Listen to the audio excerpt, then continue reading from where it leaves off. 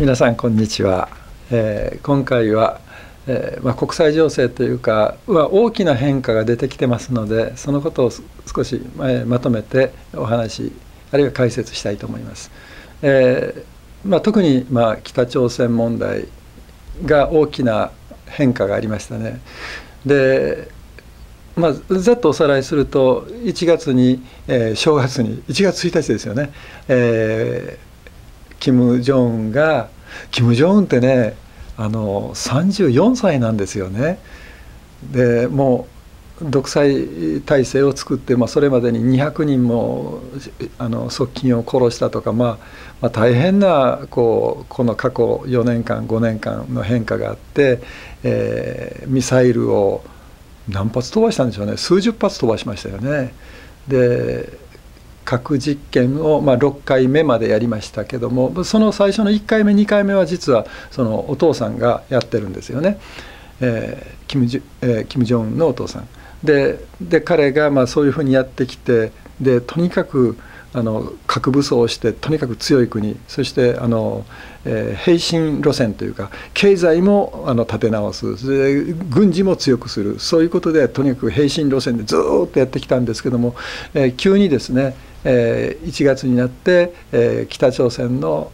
あの選手団を、えー、ピョンチャンオリンピックに送るというふうになってきてでそこでまあ大きく情勢が変わってですねアメリカとも話をしますよということになってですでに、えー、中国に飛んでいって話をした。おまけに、えーと、南北の話し合いもした。で次はですね、えートランプ大統領との話になってる。で状況がどんどん変わってますね。で安倍首相は圧力圧力ということと、えー、日本の、えー、拉致問題の解決をしない限りもう手を緩めてはいけないということをずっと主張してます。ちょっとあの硬直してるなというふうな気がします。というのはですねそそれに対して状況がどんどん変わってきたために、えー、トランプ大統領もその圧力一辺倒ではなくてというふうにあのこれまで他の国が言ってた話し合いを話し合いをということに対して話し合いをするというふうに状況変わってきました。で安倍首相はすぐアメリカに飛んでいって、え日本の拉致問題を必ずテーブルに載せてくださいと 言ってで安倍さん自身はですね日本の国民にあのトランプが約束してくれたというふうにですねあの拉致問題を出すと言ってくれたというふうにあのゴルフの中で頼んだとか、まあ、いろいろ言ってますけどもところがですねあのなんていうかあの安倍さんのこういろんなリップサービスあるいはいろんなその、えー、北朝鮮対策としてアメリカから武器を買う戦闘機を買うミサイルを買うというふうないろんな努力をしてるんですがトランプさんは、えー、日本に対しては非常にこう冷たくなってきたんですね。で、えー、拉致問題もあの日本のことを言うんじゃなくてアメリカの拉致問題を出すとアメリカの拉致問題を解決するというふうに動いてましたし、えー、アメリカの拉致被害者は3人いるんですけどその3人が3人とも戻されました。健康にも問題はないということで戻された。だからまだあの米朝会談は始まってませんけどすでにもう米朝会談以前にですねあのキム・ジョンウン変わったなとかトランプ大統領よくやってるなというふうに、まあ、両方とも人気が上がってるんですね。でそれに対して日本の拉致問題を拉致問題をというふうに言ってても実は北朝鮮は公式にはですねもう解決済みというふうな言い方をしてるんですね。もちろん日本にとってはノーですけどね。ただとにかくそのことをあまりにもですね前に前に出してしまうともう今実は北朝鮮かなりいい雰囲気になってきたんですけども日本だけはもう別だと日本は硬直してもう一番世界であの北朝鮮をその敵対視してるだからそのもう日本はもう論外だと。日本との話し合いは1億年経っても無理だというふうな